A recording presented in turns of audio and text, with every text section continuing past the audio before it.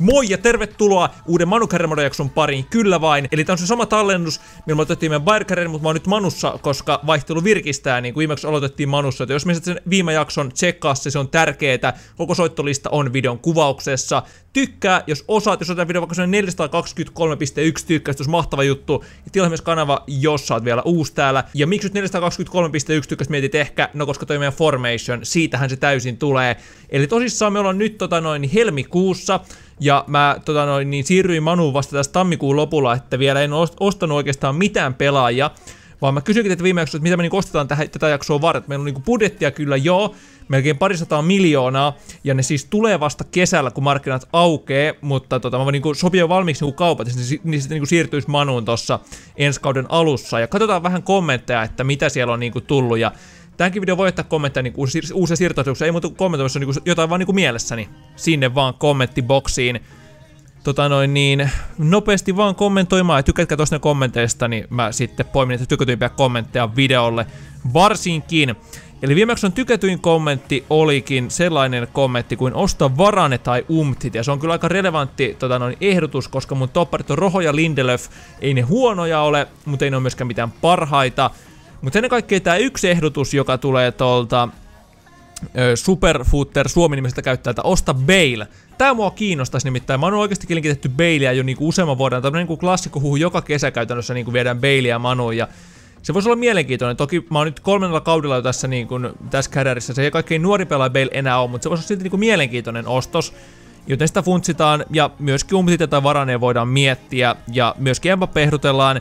Sitä mä en halua. Mä ostin sen jo Bayernin ja mä ostin sen Arsenalin, niin tällä kertaa ei Mbappé, että ei aina niitä samoja pelaajia.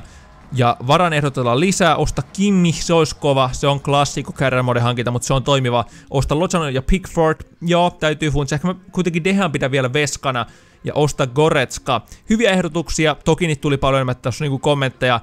Yli 400, mutta mä nyt kävin tuohon alkuun pari läpi ja tota, no, käydään ehkä vielä läpi lisää jossain vaiheessa, mutta nyt kuitenkin mennään jaksoa eteenpäin. Eli Mainitakin jostain se Bale noista ehdotuksista henkilökohtaisesti, vaikka se tykätyn kommentti ollutkaan, mutta kuitenkin tykkäyksessä oli siinäkin, että jengistä haluaa. Ja mä itse haluaisin nostaa, eli Garrett Bale on 30-vuotias, eli vielä muutama vuosi varmaan huipulla 88 overall, arvo 62 miljoonaa. Otetaan shortlistille. Mä oletan, että voi myöskin pelata useampaa pelipaikkaa, niin kuin Bale oikeastikin pystyy. Ja ehkä se Umtit, jos tällä kertaa mielenkiintoisempi kuin Varanen, nimittäin mä oon useammin Varanen kuin Umtitin kaiketi. Ja Umtiti on 26-vuotias, pelaa edelleen parsassa 86 overall, arvo 44,5 miljoonaa, joo. Tässä on nyt pari mahdollista hankintaa, joten mennäänpä suoraan oikeastaan shortlistille ja tota noin niin sieltä, so, sorry, sorry, sorry. Nää, ei, ei, ei, en mä halua mennä tonne. Noin, vihdoinkin pääsi oikeasti, niin tässä on Bale ja Umtiti, täällä ei mitään muuta kun just vasta siirryin. Ja et, tota, ei, Bale voi pelata vaan närveitä tämän mukaan, tai siis niinku silleen, toki sitä voi peluttaa jossain muualla, mutta niinku, Ideaalipelipaikka on RV, ei ole muita paikkoja. No se on vähän sääli. Mulla on oikealla Iñaki Williams, joka tietty on nuorempi kaveri. Tuossa ulosotteita myöskin, mutta en mä kyllä noin paljon maksa Bailista. Eli skipataan skipataan tota, no, niin, ulosotohinnan, niin kuin, tai sillä en lähde niin kuin, mukaan, vaan koitan tarjota ihan puhtaasti. Mä lyön alkuun vaikka ihan vaan 50 miljoonaakin, että en mä koeta niin kuin liian arvo, ee, ihan vaan rahaa, ei player swappia. En koeteta liian arvokkaaksi, mutta katsotaan nyt paljonko Real sitä pyytää. Ja 95 miljoonaa tulee eka ehdotus. Vähän liikaa, vaikka mulla rahaa onkin ja mä haluan polttaa sitä, mutta silti. Mites 60 miljoonaa? Olisiko se realistisempi? Come on, Zidane. Edelleen sama. Ei tuu tippaakaan vastaan. Mä en tykkää tosta, jos on niinku noin tarkkaa, noin tarkkaa. No 70 miljoonaa. Se on jo hyvä tarjous 30-vuotiaista Bailista. Come on. Onnistuuko? Okei, ne harkitsee, musta tuntuu, että ne ei suostu, mutta ei sitä, ei sitä tiedä. Mutta Mr. Snibuks jää siihen nyt vähän ehkä hämmentyneen kautta surullisen näköisenä. Mutta sit kuitenkin, oikeastaan venataan tota, itse asiassa Umtitista on 62 miljoonaa ulosottohinta. Se on jopa aika realistinen hinta, mitä se arvo 44 miljoonaa myöskin. Me voitais käyttää toi ulosostohintakin, se ehkä halvemmallakin toisaalta, mutta saisi ainakin niinku ilman neuvotteluja niin Umtitin kotiin. Mulla olisi just ja just varaa Bailiin sekä Umtitiin, ja sitten mä siis uuden kassa vielä niin kuin ensi kautta varten, ja ne saapuisi vasta kesällä muutenkin. Toi on, toi on yksi vaihtoehto, että niinku uusi laituri. En mä tiedä, onko Bailissäkään taas kerran mitään järkeä hommata niinku tonnikäisenä. Ja varsinkin, että hommat se tulee vasta kesällä, mutta mä haluaisin hankkia kuitenkin. Meillä on to tosissaankin nyt uusi jatkopeli tuota PSGtä vastaan. Lukaku on vielä vähän loukkaantunut, se on tuollainen pikku laastari. Pitäisikö sitä peluttaa silti, vaikka olisikin vähän pikku vammaa. Kun ei meillä oikein ole hirveästi hyökkääjä. Ei meillä vaan ole. Itse asiassa Ehkä me pitäisi oikeasti ostaa, no Dipala kyllä voi palata strikeriakin, joo, no se toisaalta antaa vaihtoehto. Mä voisin niinku muokata keskikenttää muutenkin, vaikkapa laittaa niinku Dipalan kärkeä vaikka, no siinä on vaihtoehto, eli en mä tarvi niin, niin kuin silleen miten pakollisesti uutta hyökkääjää. Dipala kuitenkin, se pelaa nyt alustavasti kämiä, en, en mä kuitenkaan pelaa, sehän simuloin. Mutta sitten jos vaikka Lukaku on niinku pelikielusta tai enemmän loukkaantunut, niin, tota noin, niin sitten se voi pelata myöskin kärkeä todellakin. Ja tota, antaa Lukakulla kuitenkin pelata, niin mennään nyt näillä. Tsekataan tää nyt ihan minuutti minuuttia. PSGllä on Neymaria, Keinin on ostanut, on Lukasia, Verrattia, Alia, Rabiottia, Grimaldo, Marquinhos, Silva, Bellerin ja Trapp. Aika kova miehistä, ei tule varmastikaan helppoa. Tämä vasta 16 parhaan joukossa, niin kuin round of 16. Ja heti PSGtä vasta aika huono arpa on, niin ei maaleja näy, ei maaleja näy. Toisaalta 0 olisi ihan jees niin kuin vieraspeliksi sinänsä. Draxler tulee Neymarin tilalle. Päättyykö peli Ai ai ai ai ai, Kosta, Kosta, Kosta, minkä sä teit? Barsa voittaa oman pelissä Lyonia vastaan 2-0 Deulofeu ja Messi tekee, mutta se ei mua pahemmin lohduta, kun tää on kuitenkin ihan vaan niinku kärjeriä, niin ei Barsa voita mulle mitään auta. Ah, nyt Manu, äh, PSG voi niinku tähdätä nolla peliin, voi voi voi voi. Ja lisää Jopin postia, nimittäin Real pyytää edelleen sitä 95,6 miljoonaa. Rahat siihen löytyisi, kyllä, ja löytyisi Umtitiinkin.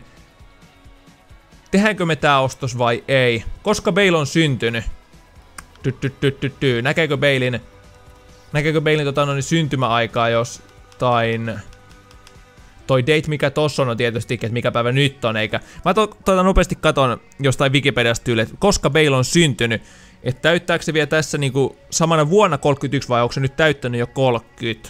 Katsotaas. Garrett Bale ja Balein synttärithän on on tota noin niin heinäkuussa, eli se täyttää 31 jo tässä näin. Onko tässä järkeä? Onko Bale meille tärkeä? Eihän siinä järkeä olekaan, mutta ostetaan.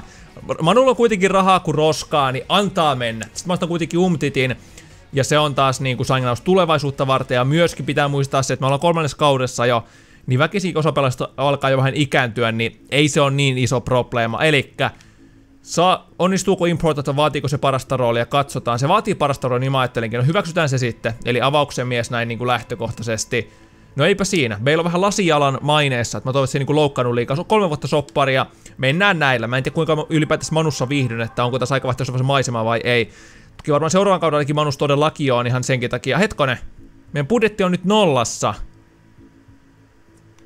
Meidän budjetti on nyt nollassa. Hetkone. Mitä ihmettä? Hyväksytään nää nyt tällaisenaan joo, mutta mi miksi meidän budjetti on nollassa? Se näytti enemmän... Öö, öö, öö, öö. Officeen. On meillä täällä... Mä en tiedä, se että jostain tuolla vasemmassa yläkulmassa on niinku budjetti nollassa, vai meinasko se sit tota hankintaa vaan kun toi... En, en, en mä varma. No joka tapauksessa, meillä on kuitenkin raha siihen umtitiin. Kokeillaan ostaa nyt niin kuin tarjoamalla ulos, ulosostohinnalla, mutta ei se ole niin tarkkaa, mutta koke kokeillaan nyt kuitenkin, että jos vaikka noin 50 miljoonaa saisi niin Umtitin ostettua, niin olisi totta kai aina parempi. Eli mä lyön ekana heti kättelyssä ton Umtitin arvo 44 ja 44,5 miljoonaa, niin katsotaan onnistuuko heti sillä, vähän epäilen, mutta parempi sitä kuitenkin koittaa, eli siitä lähtee ja 45, okei, okay. eli kannatti koittaa, pieni selon gloss, ei ole mulle probleema, joten hei, Tähän meni erittäin helposti. Ostettiin Bale, toki kalliilla, mutta kuitenkin sitten Umtiti on meidän uusi toppari. Kesällä tosissaan vasta nämä tulee, niin kuin onkin tuossa parin otteeseen jo, mutta joka tapauksessa hyviä vahvistuksia. Kesä voidaan niin kohdistaa vielä, vielä enemmänkin joukko, että aika pitkälti rahat puolta. Umtiti vaatii important roolia todellakin, että avauksen mieshän tää on niinku eittämättä. Neljä vuotta soppariin sopii mulle. Viisi vuotta olisi mennyt, mutta neljä vuotta miksei. Ulosostohintaa ei, kiitos. Ja sitten palkasta sovita, se napsii parissa aika hyvä palkkaa. Miten se olisi pieni korotus 250 miljoonaa ja vaikka pari miljoonaa tämmönen signing bonus, kuulostaako se reilulta? Ei, se pyytää taas enemmän bonuksia, vähemmän palkkaa. Mennään noilla, mennään noilla. Noin. Sitten on kaksi diiliä. Hyvä juttu. Saatiin helposti Bale sekä Umtiti hankittua. Palkkahan noin syö varsinkin Bale 360 tonnia viikossa. On aika paljon noin kiekkäksi kaveriksi, mutta antaa olla. Tää antaa mennä. Me ollaan liikon kärjessä ja selkeästi vieläpä Öö, Tää on vanha viesti, ei kookki. Tää, joo, joo, joo, se on se, on se vanha, mihin, mihin, mihin, minkä mä hyväksyin, joo, joo, joo. Eli poistetaan taas, että me sekaisin niin turhia viestejä, on kaikenlaisia niin turnausmassia ja näin poispäin. Mä vaan odotan, että miten käy PSG vasta, että hävitäänkö me sitten, tai tiputaanko me nyt jo uusilla, vai pystytäänkö me kotona Old Traffordilla pelaamaan paremmin, toivottavasti ainakin. Mutta sitä ennen on vielä tiukkaa pelejä, tästä nyt sitten kotipeli. Tää nyt pitäisi olla aika selkeä voitto, mutta ei kannata nuolasta ennen kuin tipahtaa. Elikkä tämä peli kuitenkin päättyy 3-0, Lemar iskee maalia, Mikitarian tulee vaihdosta iskee parikin byyriä. Mikhi, joka on myös kuin arsenal niin, tota, no, niin kova maalitykki. Tosta sitten harkat vaihteeksi. Onkohan päivän ekat harkat nyt kyseessä? Taitaa olla. Ja sieltä sitten vaan reeniä, reeniä, reeniä. Tulee Aata, Data, Data, Z ja Z. Alright. Ja sitten eteenpäin. Eteenpäin vaan jälleen kerran, kunhan tää nyt päästäis noin. Eli tässä on niinku kaksi päivää putkeen pelejä, eli on, on eka kolmas päivä maaliskuuta Cityä vastaan ja sitten on heti sen jälkeen Chelsea vastaan kappeli. Tuota kalenterin kautta piti tsekata, koska se PSG-peli sitten on. No tässä on pientä taukoa sen jälkeen, eli kaksi, kaksi tota, no, niin, peliä. FA Cup on toi Chelsea-peli. Voi olla jengi vähän väsy, väsynyt, mutta tota, mä menen silti tuohon Chelsea-peliinkin mun ykkösmiehistöllä, koska sit sen jälkeen ne saa kuitenkin niinku huilia. Mut nyt on tiukka peli Cityä vastaan. Tosin kuinka monen City oikein on? Ne on vasta 14. Seitsemän voittoa, kahdeksan häviöä, kymmenen, anteeksi, kahdeksan tasapeliä, kymmenen häviöä. Eli Manchester on kyllä tässä kärjerissä punainen ihan selkeästi, ei kysymystäkään siitä. Oikeesti ehkä fanien puolesta punainen, mutta menestyksen puolesta sininen tällä hetkellä. Cityn tota noin, niin, kentällä on De Bruyne, Martial ja Jesus ja Fernandinho, Mendia, Boateng ja Otamendi ja Stones. Ja City menee johtoon Martialilla. Martial, joka mä taisin myydä Cityin itse asiassa, mutta Lemar tasoittaa De Bruyne mokaa pilkun. Mites sitten käy skipataan ja 2-2. Cedric iskee meidän maalle, mutta Rahim tasoittaa lopussa. Ai ai ai ai ai. Ei nyt saisi lipsoa. Mä haluan valioliikavoiton Manussa. Kun feilasin siitä ba siinä ba to, to, to, no, niin Bayernissa, niin täällä pitää voittaa. Oi vitsit, mun mielestä on kyllä väsynyt. Pakko tehdä jotain muokkauksia. Mulla on tuolla Town Cup-miehistö, niin tota niin otetaan vielä kärkeä Wilsoniakin. Mä voin hävitä tän tällä jengillä, mutta niin kuin saattaa kostautua tää tavallaan heikompi joukkue, mutta hei, sitten me hävitään, jos, jos on niinku näin tullakseen, että tota noin, niin nyt en kuitenkaan kaikkia, emme kuitenkaan ihan puhki, puhki olella miestöllä, eli Erreraa tonne, äh, itse, pidetään Errera penkillä.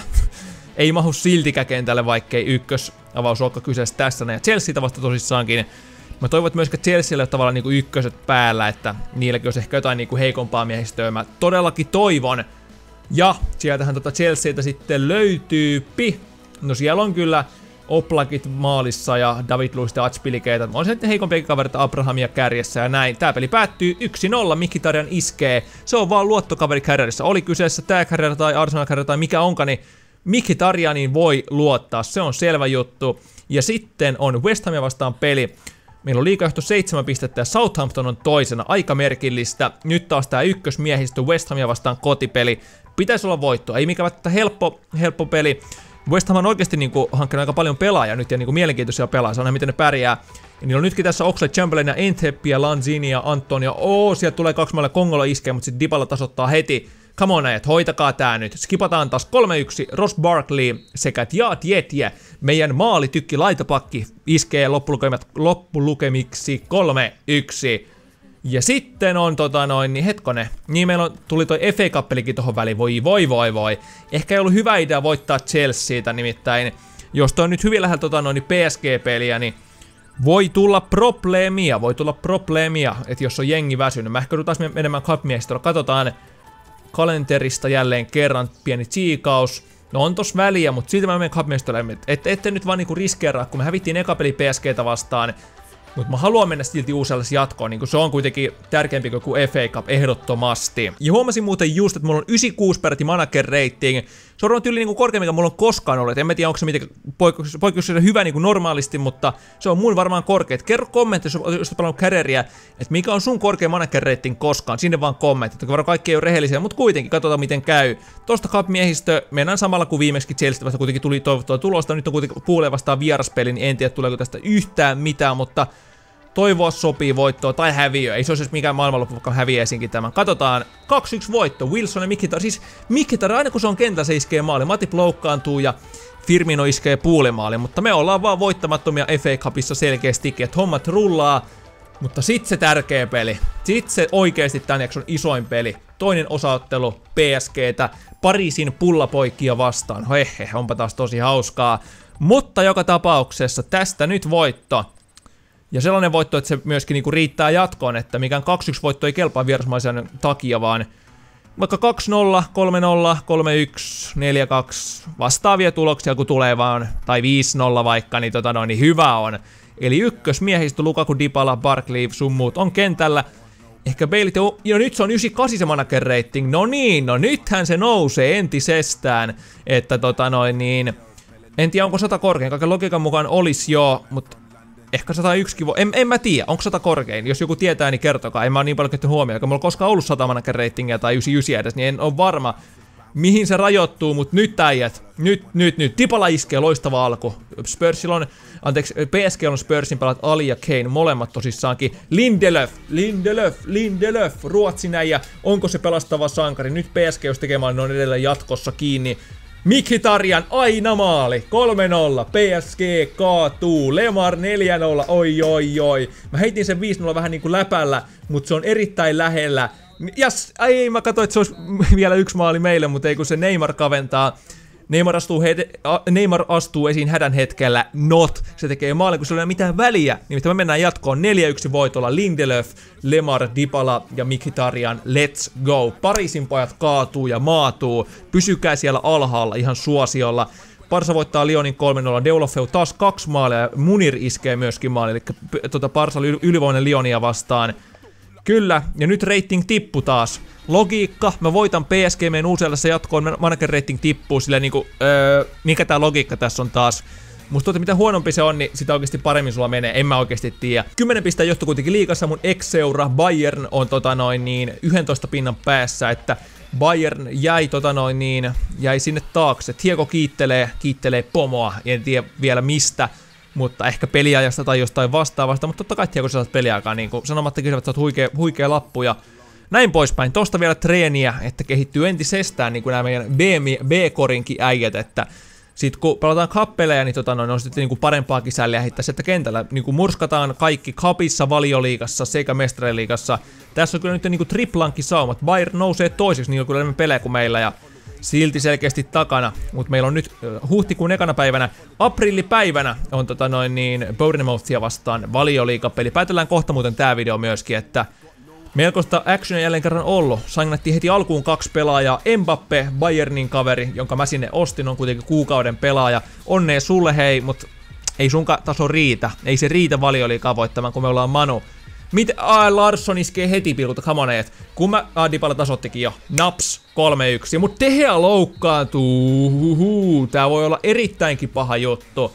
Jos on pari päivää poissa, niin ei mitään. Jos on kaksi kuukautta poissa, niin kausi, pi kausi pilalle tyyli. Katsotaan miten käy, please. Tule hyvä kakku, älä tule paha kakku. Come on, Dehea, kuinka kauan se on poissa? Seitsemän päivää, okei, okay, viikko menee, viikko on fine. Mata on pettynyt, ettei tuu peliaikaa. Ei se mitään Mata, ei mua edes kiinnosta. Oikeesti ei mua edes kiinnosta. Mennään vielä toi yksi peli, toi Spursia vastaan peli, ilman Dehea tosissaankin. Se on sääli, mutta... Ei se mitään, ei voi, ei voi mitään. Onks meillä nyt... Onks meillä sitten Parsaa vastaan seuraava UCL-peli vai miten se sitten menee ton kaavion mukaan? Ja se on Aso Juve vasta, okei, okay, siihen on vielä hetken aikaa aikaakin. Okei, okay. no ei se mitään, mennään tästä eteenpäin. Spursin poikia vastaan. Kotipeli ja Dehea, Dehea Vex tosissaankin ja no Romero on kakkosveskana. Kaiket ihan riittävän hyvä. Young 69 overall enää. Ai että, Young vaan niinku laskee ja laskee ja laskee. Se pitää kyllä pitää klubissa loppuun asti, ihan koska se on niinku le niin legenda. Ja viime, viime tota noin, jaksokin liittyy siihen. Mutta nyt kuitenkin vielä tämän jakson viimeinen peli kotipeli Spursia vastaan pitää voittaa Lontoon häpeä pilkku. Ja peli päättyy 1-0 Eriksen tota iskee pilkulta. Ai ai ai ai. Ote alkaa lipsua, kun ei ole, ei ole teheää johtajaa kentällä. Päätellään kuitenkin tää video tähän. Menti uusasta jatkoon, FA Cupista jatkoon. Ja meillä on 5 pinaa eroa Bayerniin, mutta myöskin yksi peli vähemmän pelattuna. Jos ei dikkaisi tästä jaksosta, droppaa tämän videon tykkäys. Tilaa mun kanava tuolta vasemmasta logosta klikkaamalla. Tässä verso koko Manu Kärjämodon soittolista, kautta Bayern Kärjämodon soittolista ja pari muuta videoa, mitä voit niin ikään tsekata, klikata. Seuraava myöskin Instagramissa ja Twitterissä. Linkit on videon kuvauksessa alhaalla. Se ois moro!